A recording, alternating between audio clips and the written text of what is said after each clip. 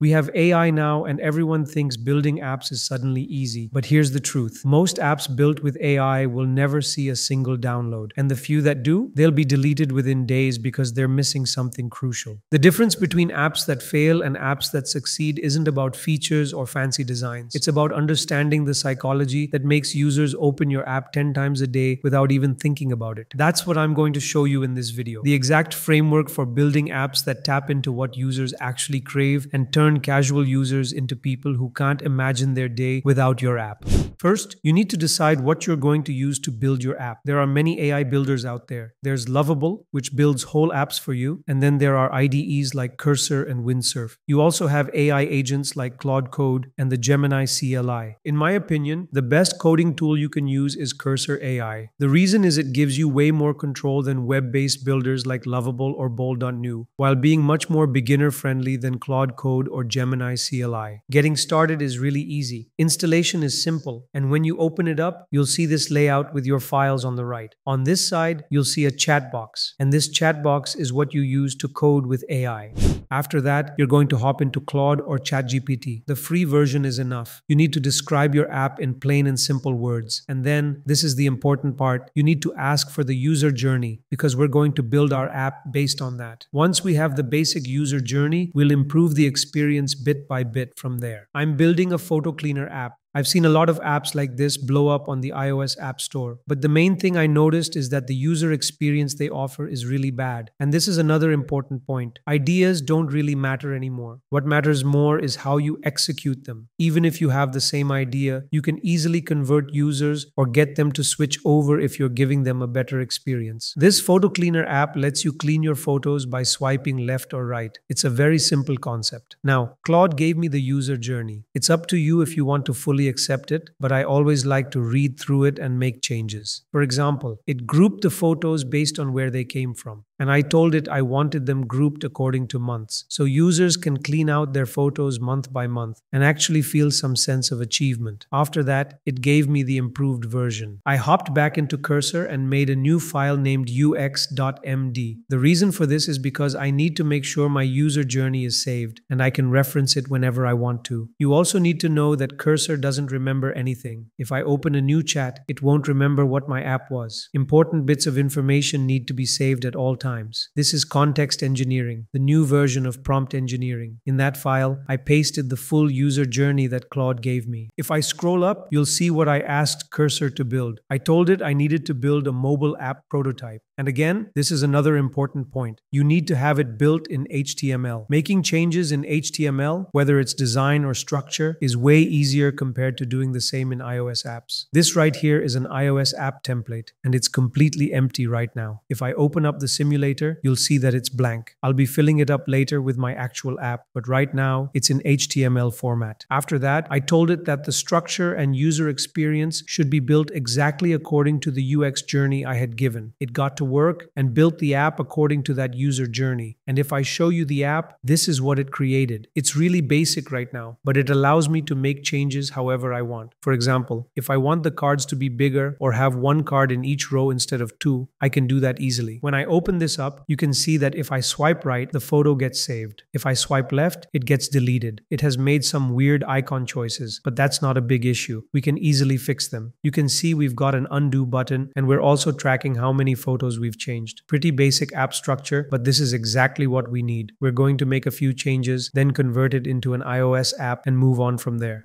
Over on the AI Labs Discord community, we're hosting our first ever hackathon from July 22nd to July 28th. Submit your most interesting builds and projects, and the top five submissions will be featured in one of our YouTube videos. You can join by clicking the link in the pinned comment below. And if you're enjoying the content so far, make sure to hit that subscribe button so you don't miss what's coming next.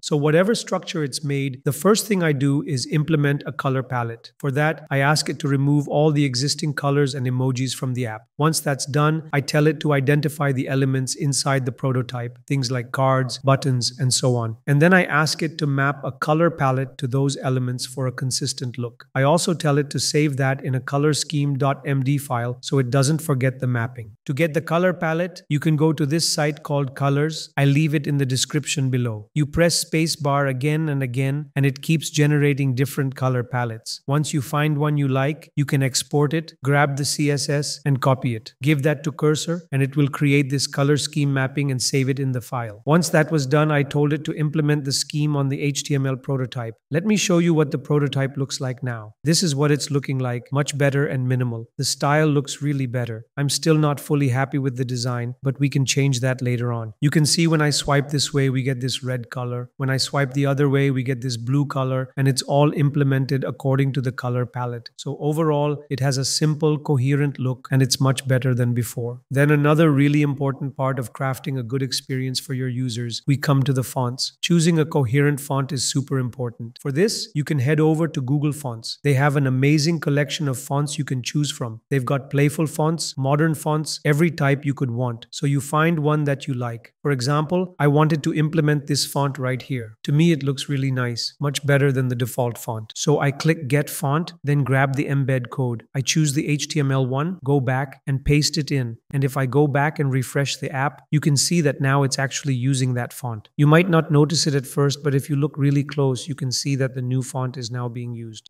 Another thing that's really important for your user experience is your app icon. You don't need to go through designers. You can just use the ChatGPT 4 image model, which is actually pretty great now. I described that I wanted a cartoonish icon of a leaf, since that's the name of the app I'm making, and mentioned it's for an iOS app. It gave me this icon, but it didn't match the color palette I was using inside the app. So I gave it some additional instructions along with the color palette, and it created this icon that actually matches the colors used in the app. Now, the app was still in HTML, not a proper app yet, so we needed to convert that HTML into a full Swift app. I came back to Cursor and told it I needed to convert the HTML app into an iOS Swift app. It gave me some conversion rules inside a file called conversion.md. Another thing is it needed to use the Context 7 MCP. If you don't know what MCPs are, they're essentially a way to give your AI model some extra context or information. Context 7 MCP is really solid. It has documentation for a bunch of different frameworks and languages. It uses vector search, which means the AI model can pull in the relevant info it needs much more efficiently. So it called the MCP tool and got all the important conversion details. If you don't know how to add the MCP to Cursor, I'll link a video below. It wrote everything down in conversion.md and listed out a lot of points to properly convert the app. After this, this, you're going to open a new chat because when you open a new chat in Cursor, it forgets what you were talking about. That's actually a good thing because it can approach things more cleanly and often perform better. Once you've got that new chat open, you tell it to convert the HTML app into a Swift app inside the test app we created and to use the conversion file. After that, we see another cool cursor feature to do lists. It sets up a to do list with 15 items and then one by one, it goes ahead and edits the files. Once that's done, it runs the app a few times. It failed a couple of times, but that's normal. After running the app and seeing the errors, it fixed them automatically. Once that was done, it informed us that the app has now been successfully converted and we can go ahead and open it up.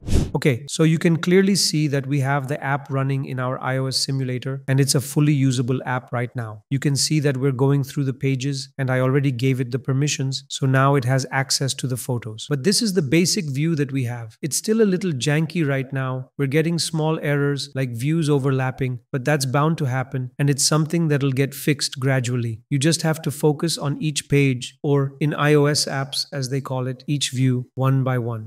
After your iOS app is functional and running, you need to focus on the animations. For that, you're going to copy your ux.md, the one you got from Claude, and go back to it. You're going to explain to Claude that this is the user journey, and now you need to focus on the animations. Give it the first section and tell it to describe how the animations will look visually. You don't want the specifications, like timing or directions. It just needs to describe them visually. Then go back into Cursor and create an animations guide file. In this animations guide, you'll place each section or page as you get them from Claude. For example, the welcome to leaf screen goes here. Then you have the permission request screen, and that gets its own animation description. Once you list them down, go into Cursor and tell it you want to implement animations. It needs to look at the descriptions and break them down into individual pieces. Here's the most important part. Cursor doesn't really know how to implement animations in Swift UI or in any other framework. Even if it tries, the results will often be janky and not polished. But with the Context 7 MCP, it goes into the Swift UI documentation and finds the proper recommended ways to implement those animations. Then it writes out the full implementation inside the animations guide. The welcome screen animation has its own section, and each animation has a complete implementation written down. Now, Cursor doesn't have to think, it just follows that exact implementation and adds it into the iOS app. If I go back to the app and restart it, you'll see we now get this amazing animation, exactly how Claude described it. Even if I had described all these small interactions myself, Cursor wouldn't have gotten it right. Now I start on the next section. I open a new tab and give it the same prompt. This time, I ask for the permission request screen instead of the welcome screen. You go one by one through the whole app. You can't implement all the animations at once. Even if you try, Cursor won't remember everything and the models will mess it up. It's definitely recommended to do it one at a time. When you encounter errors, capture a screenshot and send it to Cursor. Make sure to tell it to use the Context 7 MCP again. That way, it becomes contextually aware of how to fix the errors. It performs much better with Context 7 MCP because it pulls the exact implementation and code needed to fix the problem.